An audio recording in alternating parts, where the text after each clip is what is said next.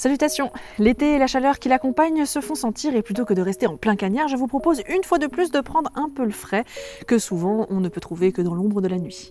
On va même faire mieux que cela, on va faire trempette dans les abysses. En effet, Animal Crossing nous offre à travers le panel d'animaux que l'on peut attraper la possibilité de découvrir des espèces dont on n'a pas l'habitude d'entendre parler.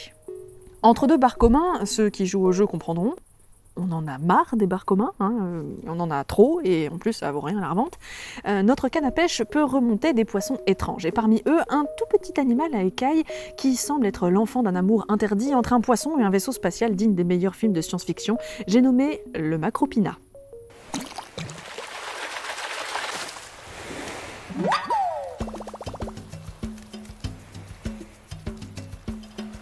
Macropina microstoma, de son nom scientifique complet, est une espèce de poisson de la famille des opistoproctidés qui surprend de par son aspect. La première chose qui saute aux yeux, et c'est le cas de le dire, c'est ses globes oculaires euh, qui sont à l'intérieur de sa tête. Tête qui forme un dôme de protection transparent au travers duquel le poisson peut voir sans encombre son environnement. Ce poisson de quelques centimètres est longtemps resté un mystère. La première description du Macropina en 1939 faisait état de ses yeux étranges qui devaient sans aucun doute capter la lumière qui se fait rare dans les profondeurs avec une grande efficacité, mais qui en revanche, pensaient les scientifiques à l'époque, étaient fixes et ne permettaient à l'animal que de voir ce qui se passait directement au-dessus de lui. Mais les découvertes récentes montrent qu'en réalité, ses yeux sont mobiles et permettent au Macropina d'observer et attraper ses potentielles proies. On a pu observer cette mobilité qu'en 2009 grâce à des véhicules télécommandés qui ont permis de filmer ces étranges habitants des profondeurs vivants. Comme vous le savez, il est très difficile d'étudier les animaux des profondeurs, justement parce qu'ils vivent dans des endroits difficilement accessibles pour l'humain. Cela vaut aussi pour les macropinas, sur lesquels on ne pouvait en apprendre plus qu'en étudiant des spécimens morts. Un macropina n'a pu être photographié vivant qu'en 2004, mais en 2009, on a pu enfin les observer en vidéo. Et avec les précieuses images de ces habitants des profondeurs, on en apprend un peu plus. Partant du principe que les yeux étaient fixes dans leur abri transparent et orientés vers le haut, on ne comprenait pas trop comment ce poisson parvenait à s'alimenter. En effet, il dispose d'une toute petite bouche, et si ses yeux sont fixes, dirigés vers le haut, et qu'en plus on prend en compte que les macropinas ont ce que l'on appelle des yeux tubulaires, donc avec un champ de vision très étroit, il devrait en toute logique être incapable de voir autre chose que ce qui se passe directement dans la direction où les yeux sont braqués, donc ils devraient tout simplement pas voir ce qu'il se passe devant leur bouche.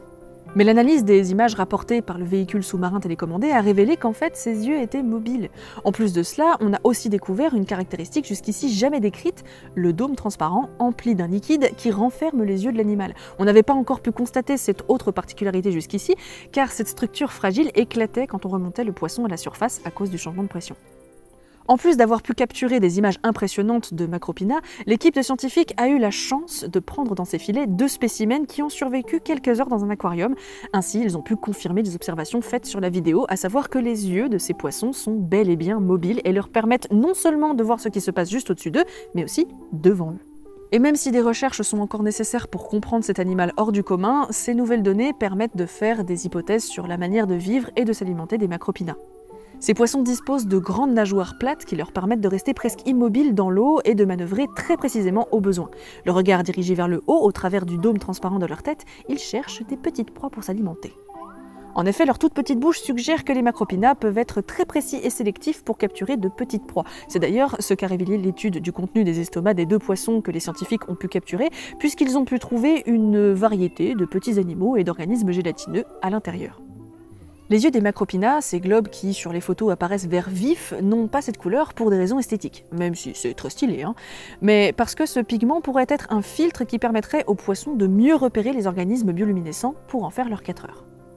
Quand ils ont repéré une proie, ils passent de leur position quasi statique horizontale à une position verticale, les yeux cette fois dirigés vers l'avant. Ils sont guidés par leurs yeux, mais aussi par ces petites protubérances que l'on peut confondre avec des tout petits yeux quand on ne connaît pas l'animal et qu'on ne sait pas que les yeux ce sont en fait ces deux sphères vertes à l'intérieur de leur tête.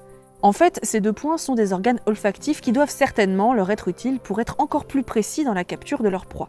Proie qu'on pense qu'ils vont de temps en temps chipper à une autre créature étrange, enfin à des créatures plutôt des siphonophores. Ce sont des organismes gélatineux qui vivent en colonies. Ces regroupements de millions d'individus peuvent atteindre plus de 10 mètres de long et traînent dans leur lente dérive, baladés par les courants, des millions de tentacules urticants qui capturent petits crustacés et autres petits animaux qui intéressent aussi les macropinas.